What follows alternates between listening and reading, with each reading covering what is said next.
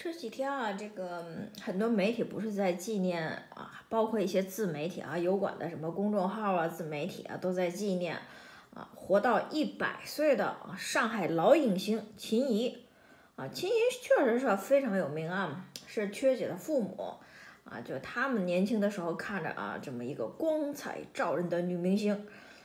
缺姐对她的这个印象就停留在她演的那个电影《雷雨》里面，其他的对她就没什么印象。就缺姐啊，看她的以前的访谈呢，哎呦，就是把她那个女儿啊，就说她女儿不乖啊，不来伺候她，说她女儿长得矮，啊，她呢就长得挺高的，啊，包括她的前夫啊，她跟这个前夫生的这个女儿呢，就她前夫也是挺高的。你你想啊，如果说你和前夫都不矮，只有你这个女儿特别矮，这意味着什么？是不是意味着你在她的这个成长发育期之前没有给她？足够的营养呢？那是谁造成他没有足够的营养呢？难道不是你们这些父母做父母的人吗？而且呢，这秦怡啊，她是有这么一个精神病、精神分裂症，还打爹骂娘，经常打他啊，他还忍着。哎呦，我就让你打，我的好大儿会打我喽，好聪明，好厉害哟！啊，他就这种爱屌的这种，他就是啊，秦怡就是这种爱屌的典型的屌丝妈。就晚景凄凉啊，你说什么抱怨他女儿不来照顾他啊，死活就不搬过来跟他一起住，那难道不是他自己啊重男轻女自找的吗？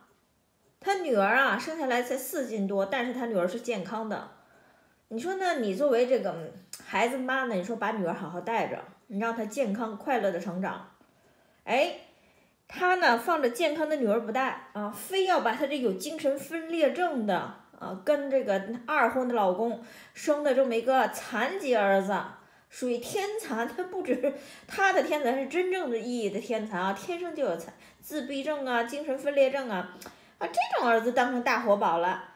你说这活该他女儿不来照顾他。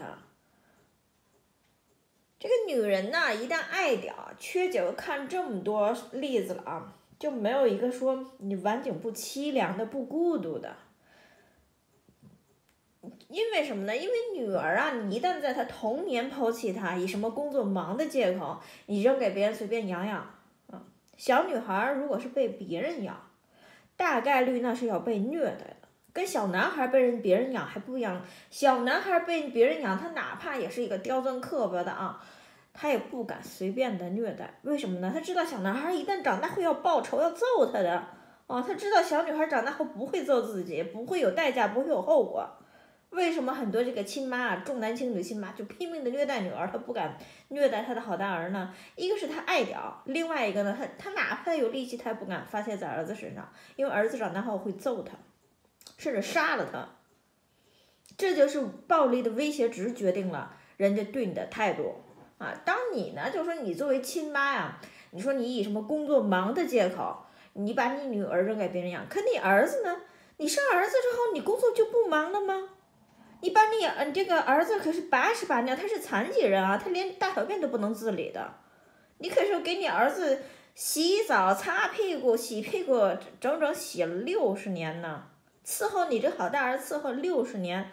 你说你这么重男轻女，他怎么可能不愤怒呢？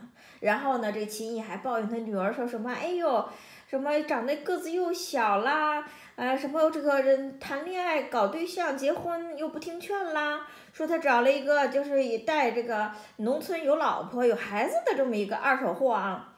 说他女儿呢就拼命的要结婚啊，就不听他的劝。那你想他做的这么错误的决定是因为什么呢？难道不是因为你把他童年抛弃，他一直活在愤怒的情绪里吗？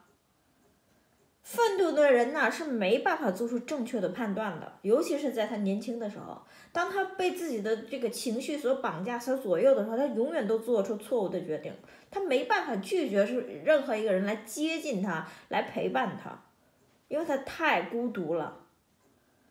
你说，如果说你这你这么重男轻女，把女儿给抛弃了，尤其是在他童年，你还不如说那他成年以后啊，他他他已经长成一个。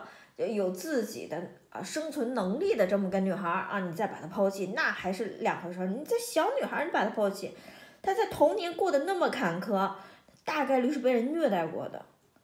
他这一生啊，基本上都活在这种自我价值感特别低的这种自我认知里面，他的认知都已经出现扭曲了。你想她怎么说？靠靠着他自己这个正确的就就做出正确的选择，那肯定啊，不管是婚姻也好，还是职业好，他大概率啊都会失败。你说你还指望着说一生都在失败，一生都在纠这个试错纠错，永远都在这个纠错的这么一个啊女儿来伺候你，你又没有在她的童年伺照顾过她，可是你却把你的好大儿一直不间断的伺候了六十年，他怎么可能说给你养老呢？这怎么可能还说在你老年时给你做你的小棉袄呢？你做梦吗？所以说，缺姐就奉劝这些屌丝妈呀，就重男轻女的屌丝妈，你哪怕再蠢啊，你也不要说在你女儿小的时候抛弃她，你至少把她养到她成年以后，那个时候她这一生啊，她做出的选择和判断，呃，偏差的概率就会小很多。你最起码得人扶他一马，扶他到这个职业正确的职业路上，啊，扶他一马，扶他到正确的这个婚恋观上。你扶他一马，这个时候他一生顺遂的时候，他，他就会感激这个妈，在他的早年，在他的早期生活里，你是温暖过他，给他过爱的，你保护过他。他那么小的时候，你让他历尽人间的丑恶和坎坷，他怎么可能对你有回报呢？他怎么可能说感恩你呢？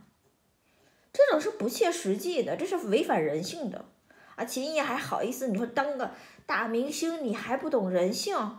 你还好意思公布天全天下对全天下人说你这个女儿不孝？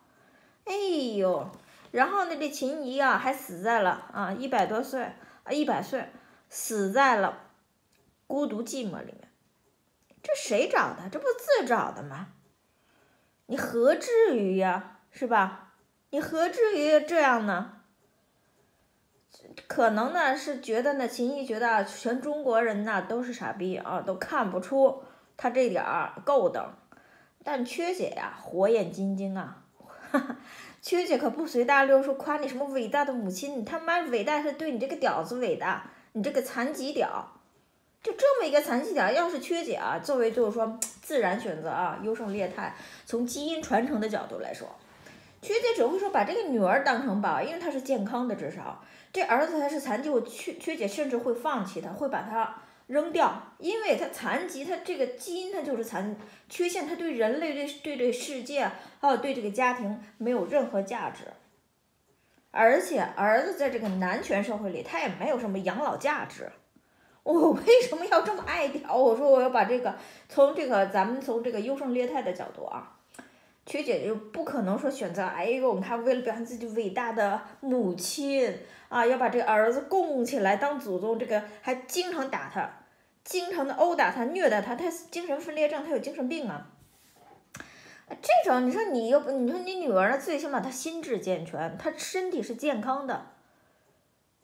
这种人他是不想到自己后果的，他也没有说看透这个人间的啊，就看透这这个人情世故啊，看透啊这些，就是说你最起码通过有价值的事儿，你得做一个，就是说哪怕你选择孩子，就从人利己的角度，缺姐就哪怕从利己角度，也绝对会选择女儿，也绝对不会选择这么一个。这个基因有问题的儿子，他对我来说没有任何价值，这不活该啊！你说你孤独一生，你说孤独老去，孤独终老，你就活该，就缺姐就只能说活鸡巴该。